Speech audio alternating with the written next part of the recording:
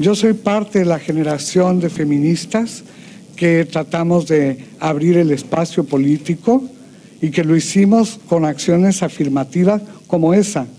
Ahora ya no estamos en eso, ahora estamos en la paridad. ¿Ven? Pero han pasado unos cuantos años de cuando yo fui diputada cuota por un partido de la izquierda, desde luego, eh, y fui diputada externa, esa fue una condición. Yo no militaba en ese partido en ese momento y lo cuento porque estamos hablando de política, de cómo llega una a la política y cómo ocupa el espacio político, y es distinto ocuparlo como cuota que electa. Es distinto el trabajo político para tener votos que, bueno, yo trabajé por los votos generales del partido, desde luego y lo hice como lo, lo he hecho después, pero no fui electa. Y a mí me sirvió mucho ser cuota. O sea, no fue en demérito, fue en, mérito y, en, bueno, en reconocimiento de autoridad del movimiento feminista y por eso yo fui eh, diputada en ese momento. Entonces sí es una aclaración pertinente, ¿no? Bueno, el, título de, mi ponencia es La consolidación de los derechos de las mujeres para el desarrollo. Podría haberse llamado de otras maneras. Yo quiero reflexionar sobre varias cosas, lo voy a decir desde el principio. Una es la política como un elemento fundamental para consolidar cualquier cosa que queramos. Sin política no podemos intervenir con esa posibilidad de incidencia. Entonces, un elemento clave para nosotras es definir, eh, pensar la política eh, desde donde estamos y, bueno, tratar de hacer política eh, de la mejor manera. Quiero hablar aquí, desde aquí, haciendo un recordatorio en memoria de una mujer política de mi país que se llamó Gisela Mota, que fue una joven alcaldesa de un poblado rural, semirural, que se llama Temisco, en el estado de Morelos, y que fue víctima de feminicidio político. Así se llama, feminicidio político. Al día siguiente de la toma de posesión, una alcaldesa que no fue cuota. Ella ganó cada voto en el terreno y era una mujer reconocida por la comunidad eh, y venía de una familia, también dicen, así se le llama en México, de luchadores sociales. Su madre, una luchadora social, que ahora está vindicando el derecho a la justicia y quiero hacer en memoria de ella y desde ahí quiero reflexionar sobre la política a la que nos enfrentamos también las mujeres.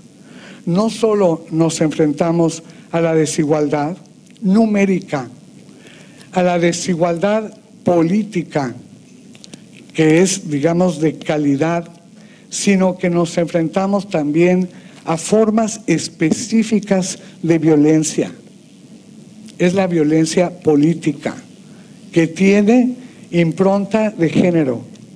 No es igual el homicidio de hombres que el feminicidio, y en este caso político, de esta colega.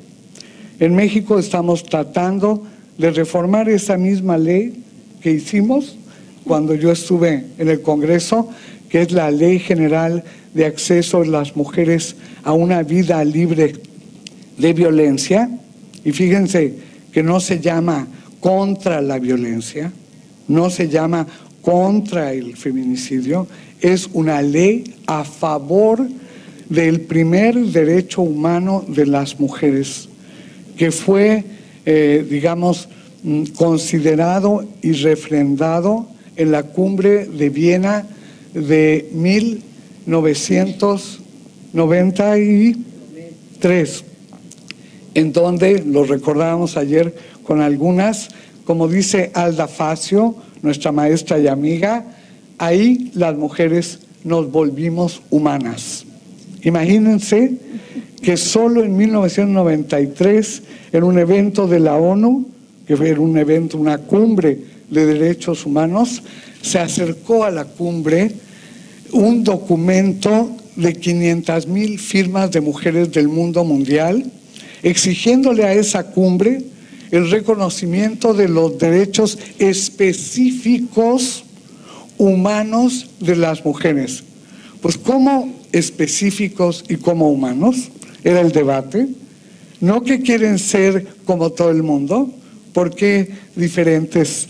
Bueno, pues porque en primer lugar las mujeres en el mundo no teníamos en ese, en ese espacio y dimensión el derecho a una vida libre de violencia. Fíjense qué frase. Es un poema. El derecho a una vida libre de violencia.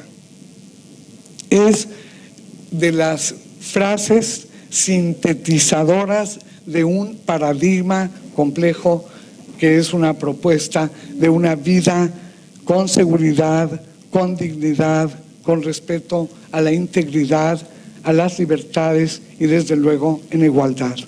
Eso es lo que dice el primer derecho humano que aprobó la cumbre de Viena y que tuvo un tribunal afuera paralelo hecho por mujeres que fueron, fíjense también qué bonito, fueron a decir allí cuáles de sus derechos humanos habían sido violados. Unos derechos que nadie reconocía, más que las mujeres mismas que haciendo política llegaron a la cumbre y montaron ese tribunal. Ah, ahí se oye mejor, ¿verdad? Ese tribunal para el reconocimiento de los derechos. Ya no se oye. ¿Está mejor? Está peor. Pero no lo puedo poner más cerca. Me lo voy a comer. No hay sonido. Ahí está. Bueno, ya ni sé qué decía, pero era algo sobre los derechos humanos de las mujeres y eh, se aprobaron varias cosas. Lo primero fue que las mujeres éramos sujetas de derecho y de derechos humanos, no solo de derechos civiles, sino de derechos humanos, inalienables, intransferibles, eh, invendibles, incorrompibles y todo eso que decimos de los derechos humanos, que son integrales, que son progresivos y que son básicos para la vida de las mujeres. Ahí se aprobó algunas de ustedes a lo mejor no habían nacido. Otras ya teníamos una parte de la vida sin saber qué era eso de tener derechos humanos. Eh, se hizo el tribunal y se aprobó eso. Y se aprobaron otras dos cosas. Una, que todos los derechos de las mujeres, por el solo hecho de ser aprobados ahí, ya eran derechos humanos. Y dos, que sin derechos humanos de las mujeres no hay derechos humanos en ningún país. Y me parece que ese es el marco importante de esta reflexión. Desde ahí lo hago, desde los derechos humanos de las mujeres. Unos de los derechos humanos de las mujeres son derechos políticos. Hay uno muy importante, creo que es el 9, en el que se reconoce el derecho de las mujeres a organizarse, a organizarse para poder participar con libertad y seguridad en la vida pública. Otro dice que toda mujer tiene derecho a formar parte de los grupos, de los espacios en la toma de decisiones que afecten a su comunidad, a su país. En ese marco estamos trabajando ahora todas por los derechos humanos de las mujeres. Pero quisiera decir como reflexión previa, que el debate, el debate en torno a estos derechos humanos es un debate sobre el poder, los poderes, los poderes que oprimen, que sojuzgan, que someten, que construyen desigualdad, que construyen inseguridad para la vida, que producen pobreza, exclusión, marginación y desde luego explotación. Todo eso son voces y palabras que ya no se oyen mucho en los lugares. Por ejemplo, la palabra explotación se usa muy poco en los textos contemporáneos.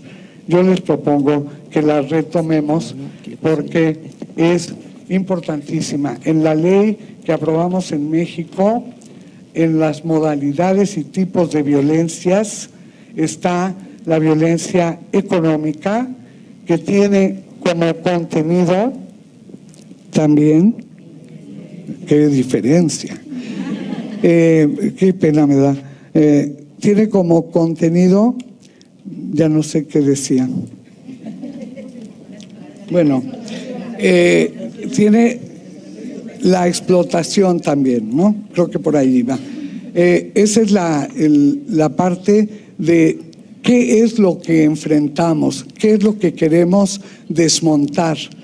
¿Qué es lo que queremos, como dice la CEDAW, eliminar? ¿Qué es lo que queremos erradicar, como dice Belém do Pará? Todos esos fenómenos de poder que construye el patriarcado y que construyen la articulación de todos los patriarcados con todos los modos de dominación eh, existentes y en la actualidad, desde luego, con eh, eso que algunos llaman ese neoliberalismo salvaje depredador. Entonces, enfrentar y construir derechos humanos de las mujeres. Como tener un micrófono.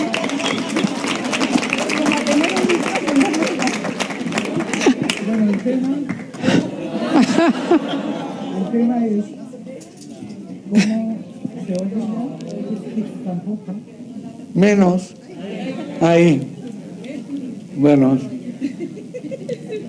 Que nosotras eh, enfrentamos como causa desmontar esos poderes de dominación sobre y contra las mujeres y todas las formas de violencia contra las mujeres y las niñas.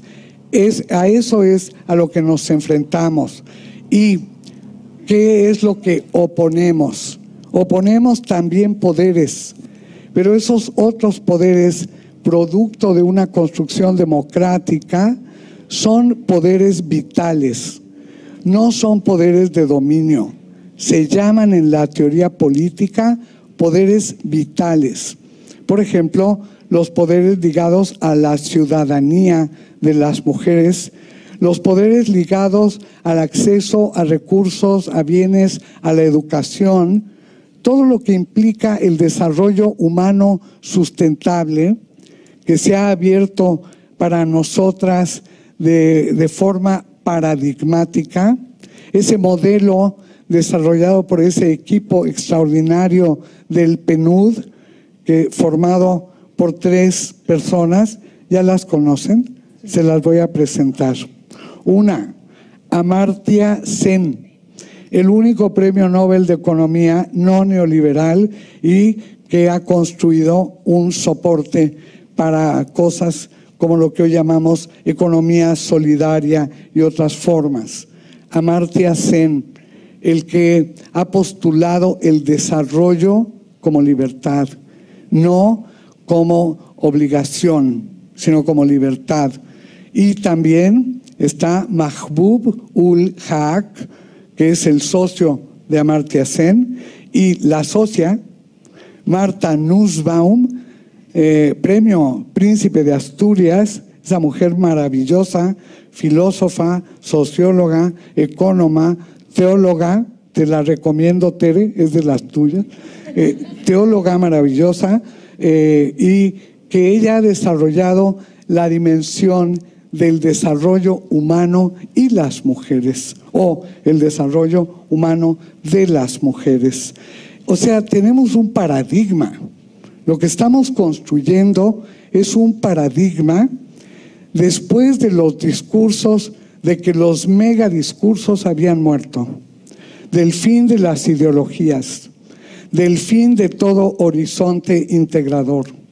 Y va surgiendo desde abajo en la ciencia, en la investigación comprometida, este nuevo paradigma que recoge todos los paradigmas progresistas del siglo XX y los articula y nos da incluso una metodología para trabajar el desarrollo humano sustentable.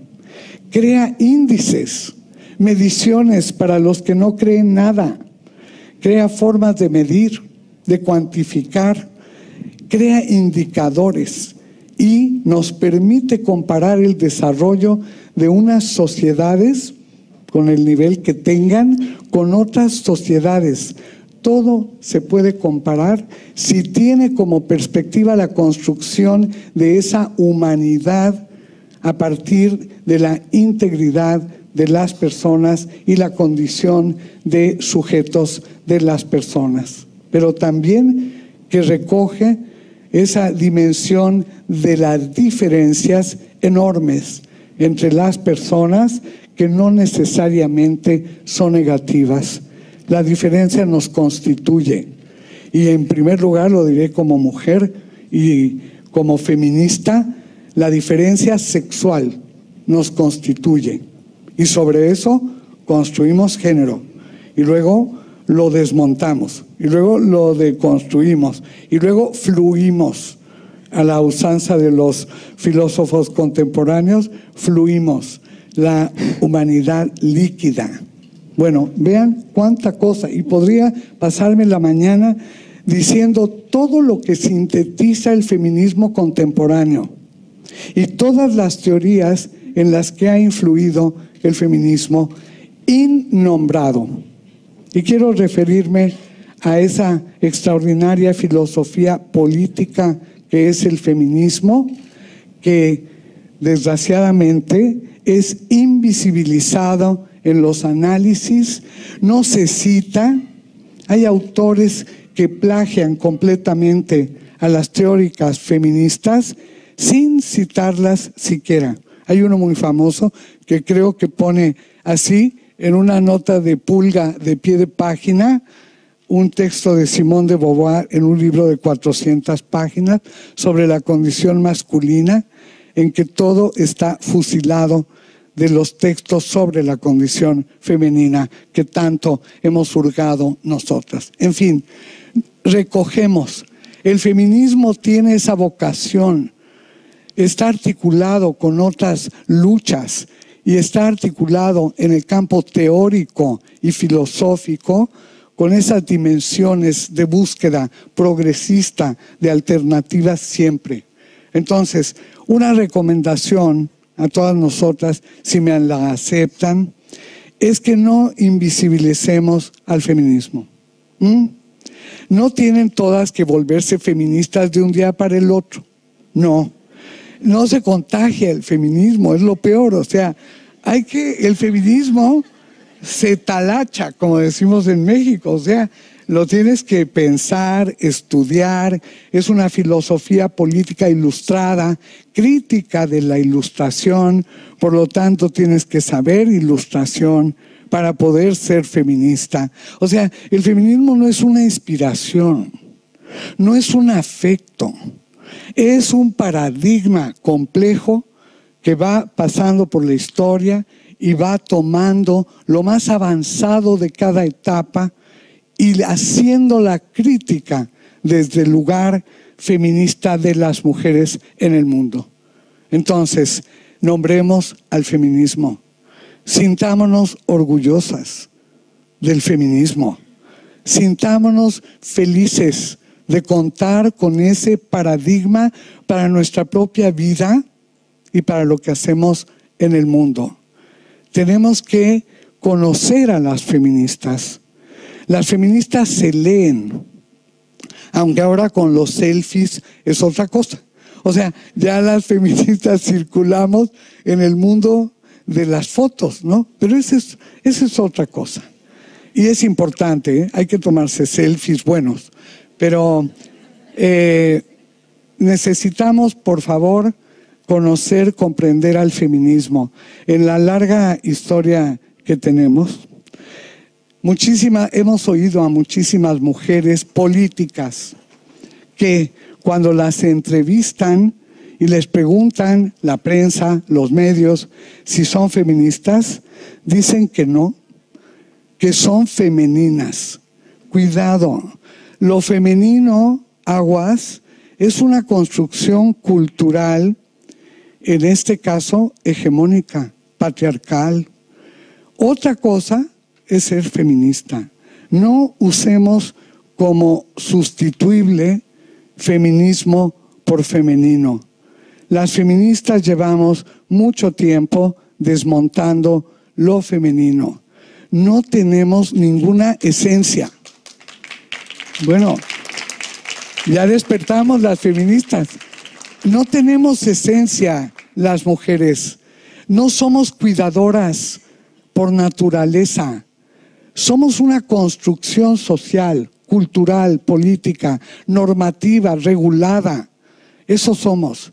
Y algunas con todo y todo no aprendemos a cuidar o descuidamos o no estamos en las pautas que la sociedad exige al cuidado.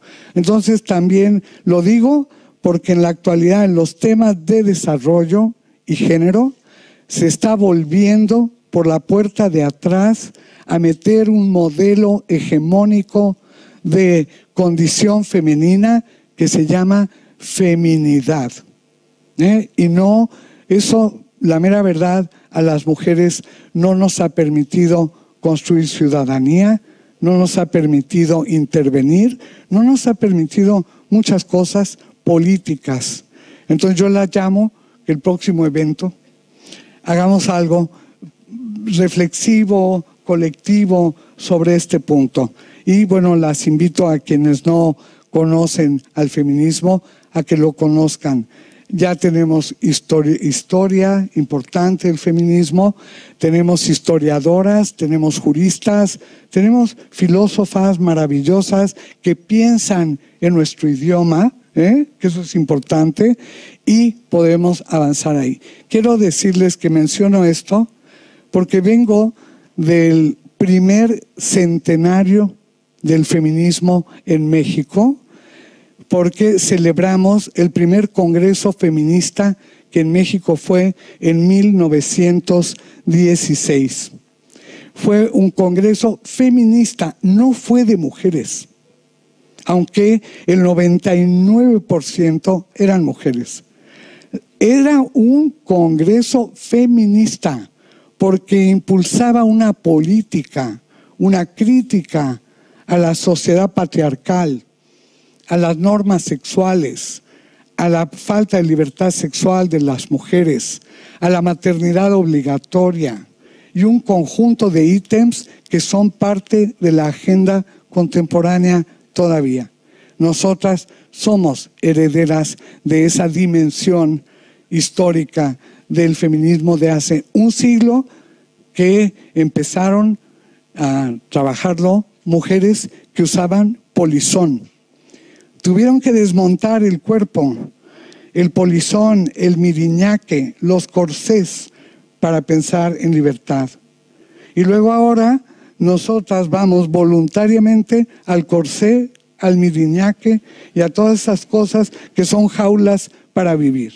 Entonces, em, bueno, quería decir, y lo voy a decir porque ya me pasaron un recado, que me, estoy saltando todo, pero tienen la ponencia por escrito, que quiero decir que las mujeres intervenimos en política con una enorme inseguridad de acuerdo con las condiciones políticas de cada país.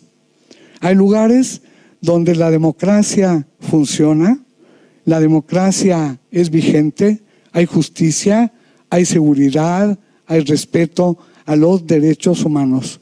Pero hay países donde no es así. Y hacer política implica enfrentar esa inseguridad. Yo les mencioné a esta eh, luchadora social mexicana que fue víctima de feminicidio hace unos días. ¿Qué es lo que nos proponen diversas autoras? Y no voy a mencionar solo a mujeres occidentales sobre este paradigma político para hacer política a las mujeres. Voy a citar a una mujer somalí. ¿Saben dónde queda Somalia? Por ahí, ¿no? Donde se desaparecen los barcos, los secuestran, unos clanes guerreros terribles, que ya no hay Estado en Somalia, no hay instituciones. Y dicen las colegas, compañeras que han huido de ahí, que cuando no hay instituciones, los clanes, el poder masculino patriarcal es absoluto. Entonces, la que nos proponen que nosotras, las feministas, con todo lo críticas que somos, al mismo tiempo proponemos alternativas. Una de ellas son instituciones que nos permitan avanzar colectivamente con normas, entendidos y con su respeto. Ella se llama Ayan Irsi Ali. Tiene un libro bellísimo que lo pueden regalar de que viene ahora el 8 de marzo eh, a ustedes mismas y a las demás que se llama Mi vida, mi libertad. Ella fue diputada a la Asamblea en Holanda porque finalmente se asiló en Holanda y luego descubrieron que no había sufrido y que el asilo no era muy claro, se lo quitaron, la expulsaron del país y ahora está sentenciada a muerte con la fatua por haber eh, atacado al Islam. Y ella decía, yo soy feminista porque soy perseguida y porque soy libre. Quiero ser libre y quiero que todas seamos libres. Pero para eso el Islam oigan esto, requiere su ilustración. Como Occidente tuvo su ilustración y por eso las mujeres de Occidente no van veladas, no son mutiladas y todas estas cosas. En México, ya les dije, conmemoramos este planteamiento feminista y desde luego también ese desarrollo humano que es a lo que aspiraban las feministas de entonces. Los derechos humanos han venido a colmar el anhelo de las mujeres de ser lo que queramos ser, pero que podamos tener los recursos indispensables para hacerlo. Eh, sin violencia. Y aquí con esto voy a terminar. La violencia impide la consolidación de los derechos humanos de las mujeres. No es una opresión más, es la clave para mantener articuladas todas las formas de opresión. Por eso, las feministas contemporáneas hemos puesto como prioridad, prioridad eh, colectiva, prioridad de gobiernos, prioridad de instituciones internacionales la eliminación y erradicación de la violencia contra las mujeres y las niñas. Ayer alguien decía eh, que no estaban previniendo bien, se preguntaba, ¿cómo hacemos la prevención? Y lo que hemos descubierto, y por eso lo hemos hecho así, es que la prevención no es una partecita de un proceso para erradicar las violencias. Es ni más ni menos que el eje para desmontarlas y está basada en el empoderamiento de las mujeres y la igualdad entre mujeres y hombres. El lema de ONU Mujeres Contemporáneo es por el empoderamiento de las mujeres y la igualdad entre mujeres y hombres. Y por favor, ya no me puedo extender aquí, pero no confundamos mujeres poderosas con mujeres empoderadas. Empoderarnos empieza, lo digo como va, empieza por un proceso de conciencia. Sin conciencia no hay empoderamiento. Una puede cambiar hábitos, una puede intentar parecer, pero si no ha hecho el clic en la conciencia, si no tiene conciencia de género, política, feminista, no está empoderada. Es poderosa. Y puede ser poderosa porque ocupa un lugar en las instituciones, pero no está empoderada. Se sale de la institución y se acaba. No tiene estructura. La estructura para nosotras en el sentido del empoderamiento es la conciencia política de género. Y vean ustedes lo que son mujeres poderosas cuando se les acaba el poder institucional o grupal o económico eh, o financiero, lo que sea. Se les acaba todo porque no hicieron el clic. Y nosotras tenemos que promover que las mujeres, en general todas, tengamos el derecho a ver la vida de otra manera, de esa manera feminista que nos propone que lo primero, lo primero somos nosotras. No cuidar, por favor. Lo primero es el desarrollo propio de cada mujer y que cada mujer tenga en sí misma la fuerza entrañable para hacer de su vida algo vivible, resiliente si es necesario, pero vivible. Y no pensar que entonces primero cuidamos y luego a la quinta ya nos toca a nosotras. No construyamos esencialismos femeninos, por favor. Yo les, propongo eso. Em, Hemos visto en diferentes plazas públicas en los últimos años cosas muy importantes relativas a las mujeres en proceso de empoderamiento. Por ejemplo, en el Cairo, en la plaza, ¿se acuerdan? Cuando hubo las manifestaciones de la primavera árabe y había un pequeño grupo de mujeres vestidas de negro de la cabeza a los pies que se estaban manifestando allí, haciendo un acto subversivo impresionante porque no tienen el derecho de manifestarse públicamente. Y ellas se sumaron a la primavera árabe, pero en ese mismo acto hubo violencia sexual contra ellas, hubo violaciones contra ellas en esa plaza eh, histórica. También recordar ahora las mujeres violentadas en una fiesta en Europa, no es el tercer mundo, es Europa, y en Europa vivieron violencia sexual al estar festejando, creo que era el cambio de año, ¿no? Era la fiesta de Nochevieja. Y ahí fueron violentadas. Ah, pero de inmediato al otro día estaba montado un discurso anti-migrantes, un discurso anti-protección, asilo y refugio de las personas que están huyendo de condiciones inaceptables de vida e invivibles. Bueno, veamos, en esas condiciones es que nosotras eh, hacemos activismo.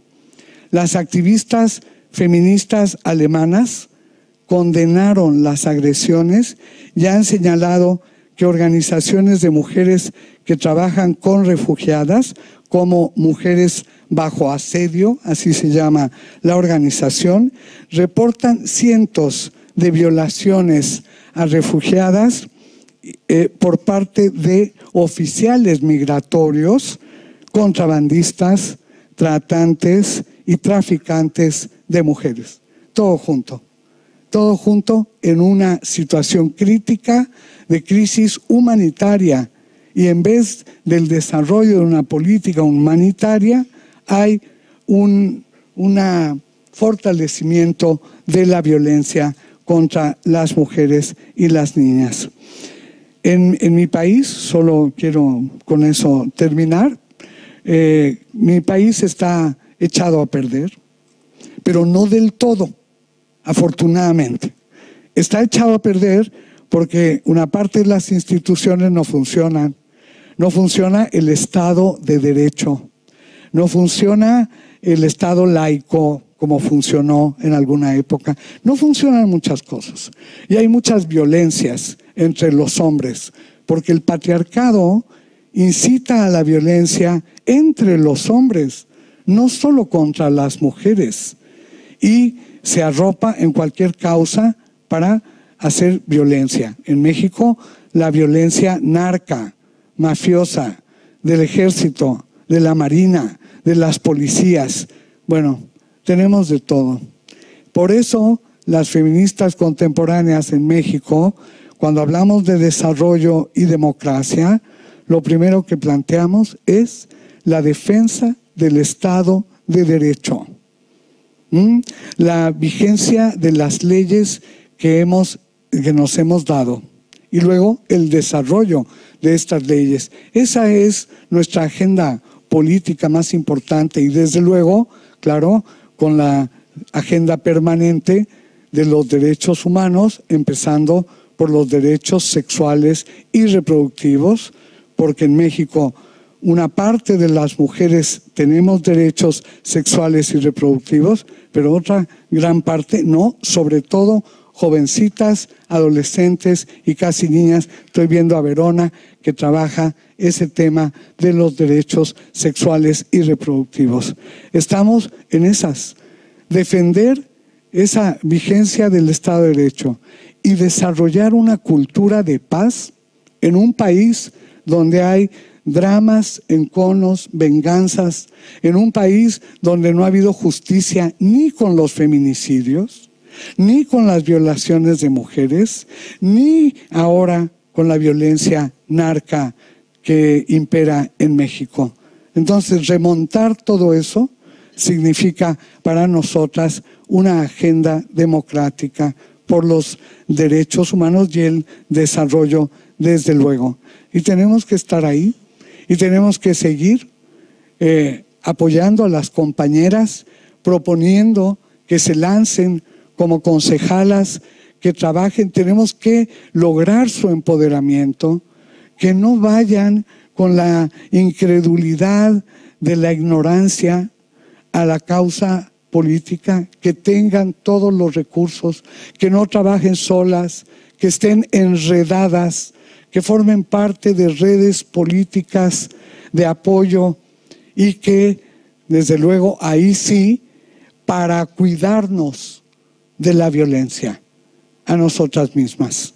Por la vida y la libertad de las mujeres, muchas gracias.